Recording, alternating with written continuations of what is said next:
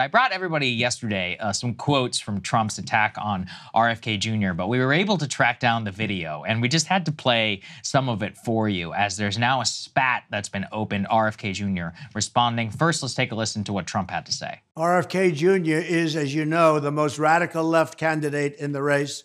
He's more so than the Green Party, he's more so than even crooked Joe Biden. But he's uh, got some nice things about him. I happen to like him. Unfortunately, he is about the Green New scam because he believes in that, and uh, a lot of people don't.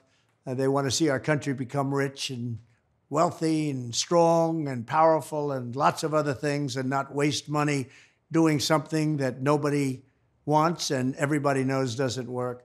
I guess that would mean that RFK Jr. is going to be taking away votes from crooked Joe Biden, and he should because he's actually better than Biden. He's much better than Biden.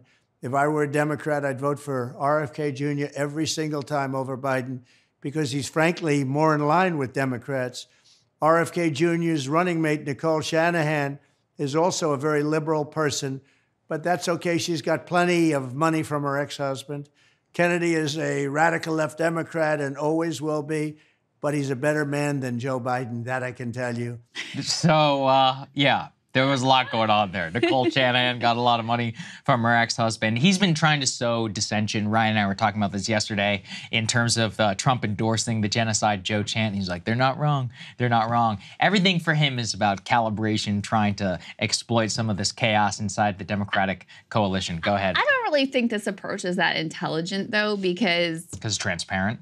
Not because it's transparent but if he actually wanted Democrats to vote for RFK Jr., he wouldn't say anything nice about him. Mm, like yeah, the fact yeah, that Trump says something nice about you is not a point in your favor if you are at all on like, you know, left of center or somewhere in the potential Biden voter universe. So if Trump was, I think his smartest move would be to just aggressively attack him as, you know, liberal and loves Nancy Pelosi and voted for Hillary Clinton, whatever.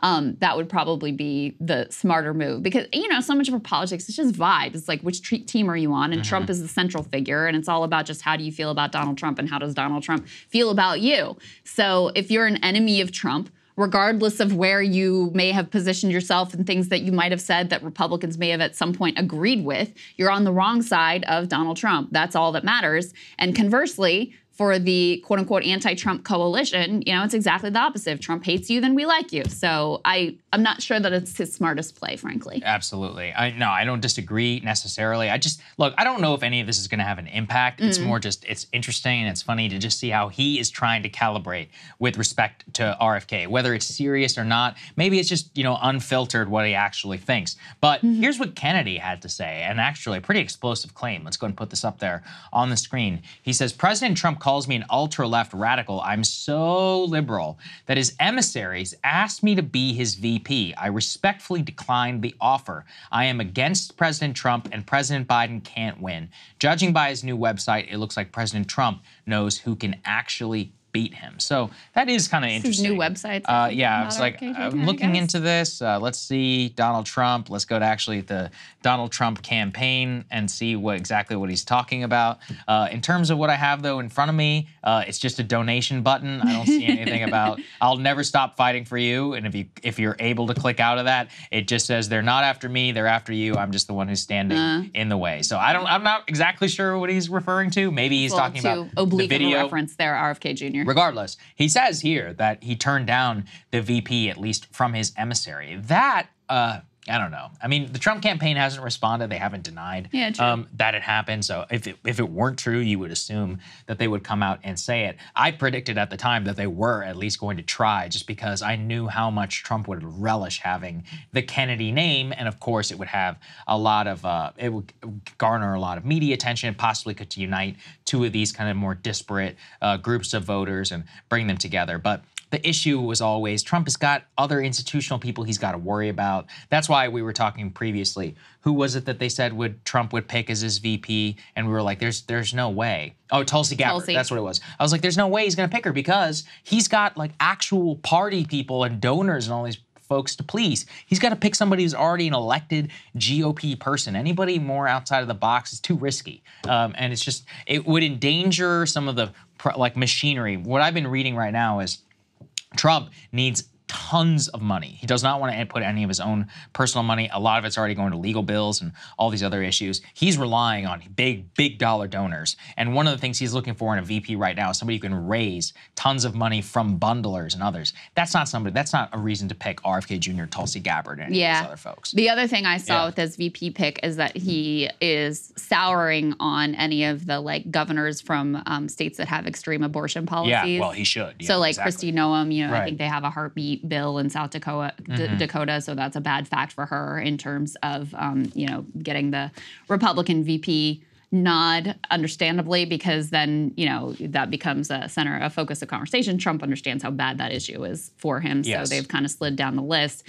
With regard to this Kennedy tweet, okay, I'm probably parsing this too much, but um, there were a couple things that I found noteworthy. First of all, with regard to how he phrases the VP offer, mm-hmm. saying that his emissaries asked me. I find that credible. That's a little bit different than like, all right, the man himself right. was like, I've made my decision and right. it's you. Will right. you join me?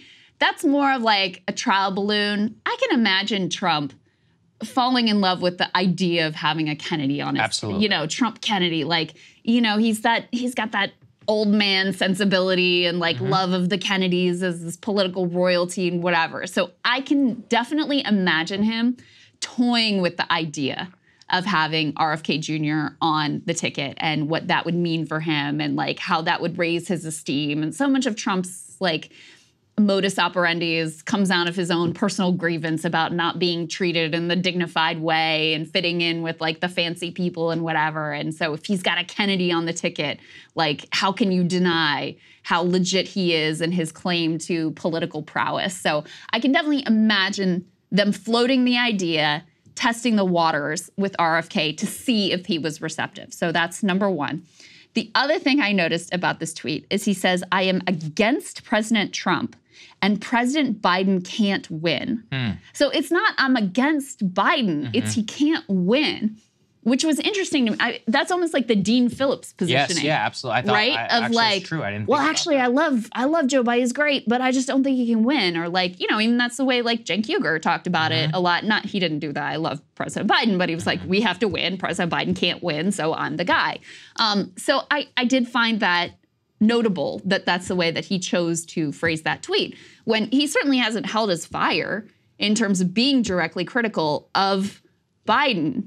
But it made me feel like because he softened that language, perhaps he does see his best lane in terms of accumulating the, you know, the most votes as being a little bit friendly towards the Biden people and like trying to pick up more of the disaffected Biden voters. But I, I also could be reading way too much into no, this no, no, one no. tweet. I, I think there is something to it whenever he says, you know, President Biden can't win. That's kind of like whenever he was running in the Democratic primary. Uh, let's go ahead and put this up there on the screen. This is important for ballot access news from RFK Jr. He is ruling out a libertarian run.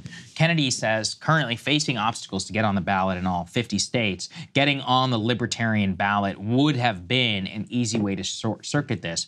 But he says we are not going to have problems getting on the ballot ourselves, so we are not going to be running as libertarian. This is something he confirmed to ABC News on Saturday when he was asked specifically about this. So currently, we know that he has qualified right now um, for the ballot in Utah officially. There are other states where he has enough signatures, but they're currently in con- uh, being contested. But this was a move uh, of confidence on the campaign part where they are saying definitively, we are going to be on the ballot in all 50 states. Now, I remain skeptical of that, and it's not a denigration of his campaign. It's just that I know how rigged the process is and how difficult it will be to get on all 50. Mm-hmm. But clearly, maybe with Nicole Shanahan's money, they believe that they do actually have a very good shot at being on the ballot in the vast majority of states. That's the only reason that you would deny the Libertarian Party or yeah. the libertarians were like didn't want him. Like there, there was, was, a lot of there was some consternation. Yeah. I'm not saying he wouldn't have won, uh, but um, actually I think he might have won. I'm not sure. I don't yeah. know either, but I'm just saying that's the other alternative explanation. Is it became clear that at least it wouldn't be a clear cut path mm-hmm. to the libertarian nomination. They weren't going to just anoint him, so it ends up being sort of too messy and distracting from the rest of his campaign goals. I think that's entirely possible as well.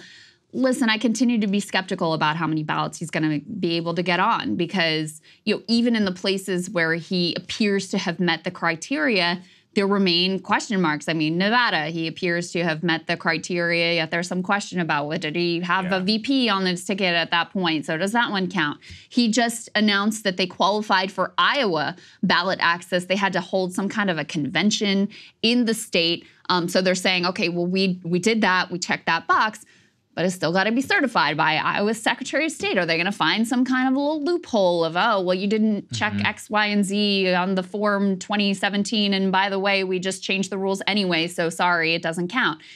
There's so many tricks that they use and lawfare that they use also to try to block candidates from the ballot I just, it's not a slam dunk thing. It's not a slam dunk thing to get on in even a majority of states, let alone all 50 states. So they certainly have their work cut out for them. And I think this is one of the most important, in terms of the horse race, I think this is one of the most important um, things to watch because we know that there's uh, oftentimes double digit support for Bobby Kennedy. So does he make it on the ballot? Who is he pulling more from? You know, who are the more disaffected voters who are migrating to him? I think these things are could all be actually determinative in terms oh, of who the, the next president is. And by the way, I continue to be a little agnostic about what the answer is as to which side he pulls more from, because he still does have a much higher favorability with Republicans. And so I'm just looking at that and I can't help but think that must mean something because it's not even close. Like a majority of Republicans like him and of overwhelming like 75% of Democrats hate him. So that has to mean something at the end of the day is my guess, but you know, the polling so far has been a little bit mixed as to yep. what the impact is. Absolutely. No, very true. Hey guys, if you like that video, go to breakingpoints.com, become a premium subscriber, and help us build the best independent media organization on the planet. That's right. We're subscriber funded. We're building something new. We want to replace these failing mainstream media organizations. So again, to subscribe, it's breakingpoints.com.